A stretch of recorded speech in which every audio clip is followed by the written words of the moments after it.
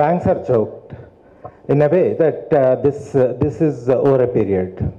So once we thought of uh, asking banks to fend for themselves, be viable, then banks have to choose what business they have to do. Then there is no more development banking, which we used to see way back in uh, 90s. There used to be a development banking where promoter can contribute 10%, 15 to 20, 20% comes as a subsidy, balance comes as a loan, which has a reasonable uh, repayment period. And a loan in sometimes in two parts, which is a soft loan, comes at a single digit percentage, and balance loan, which comes at a higher percentage. These were the days uh, where de- development banking was present, and many units today are uh, either aided by IDBI, IDBIs, ICICIs when they were institutions, and uh, even SIDBI has helped many units uh, uh, find their feet and then grow. But now uh, banks have come to a situation where everyone is listed, and if you say uh, irregular accounting practices, I think these are most today in banks. Now you can't trust a bank's balance sheet. Sorry to say in this stage, this is a pressure. So what I say is window dressing is a pressure of a situation which percolates into window dressing. So now banks are in such a position that because of the increase of NPAs, if there is a declaration of NPA of a particular asset, immediate quarterly result will be uh, negative, which they are unable to take.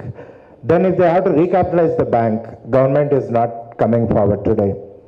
And any follow-on offering, it's very difficult uh, for the banks at the current momentum. So with all this, banks are in a, a very tight situation. And look at the units now. So the same, uh, this, the operative level of staff rate differently.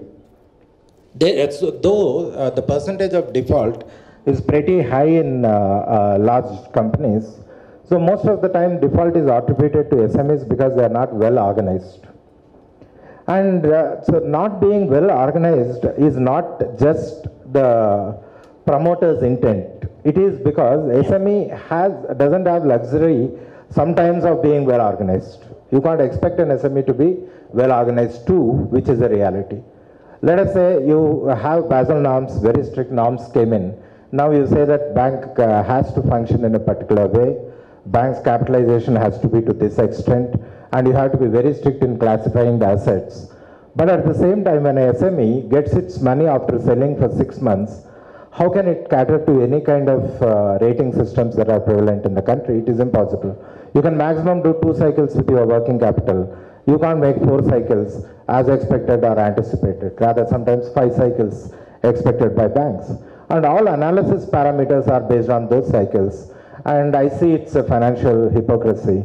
And uh, right at the beginning of uh, any SME starting an enterprise, taking a loan sanction letter, I know, I advise all my clients, have your own capital as a buffer. Whatever you got from finance from bank is not sufficient for you. So don't plan an enterprise with entire your savings. Have some buffer because you need to chip in to save your own business over a period. So here comes the requirement of the capital, private capital. So now access for private capital has increased. Earlier businesses used to think I have to do business alone with my capital. Time But now partnering has increased Time, time constraint. Yeah. partnering has increased and with partnering and accessing external capital sources which today is possible i think we are in for better days and i suggest lesser leverage and higher capitalization for smes either by partnership or by getting equity from institutional players.